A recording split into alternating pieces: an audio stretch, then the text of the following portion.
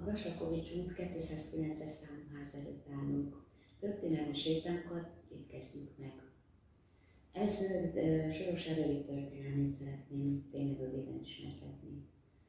A Habsburg ház, házból származó Mária Terézia, aki többek között Magyarország királynője is volt, 1740-től egészen haláláig 1880-ig uralkodott. Ő rendelte el, hogy aki Magyarországon telepszik le, annak különböző kedvezményeket biztosít. Tette ezt azért, mert az országnak a képes lakossága aggasztóan alacsony volt. A földeket nem volt ki megművelje. A telepeseknek építkezési segély, több évi adómentességet és földeket ígért, és adott is. Sorosára telepesek nagy része frank és ráföldből érkezett.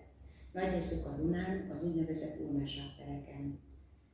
1717. július 3-án keresztelték meg Borszterberg Rozinát, a harasztanyagkönyvi bejegyzés szerint, ekkor ugyanis még nem volt Sorosárnak önálló egyházközsége. Így őt tekintjük az első Sorosárnak született gyermeknek, szüleit pedig az első telepesek egyikének. A hely, ahol most állunk, több szempontból is kulcsfontosságban bírt Sorosár életében. Itt találkozik ugyanis a Haraszti út, az Ócsai, majd Grassalkovics útra átkeresztelt úttal. Az ország déli részéről érkező parasztok, kereskedők, akik a fővárosra tartottak, vagy éppen onnan jöttek, ezt a csomópontot nem kerülhették el.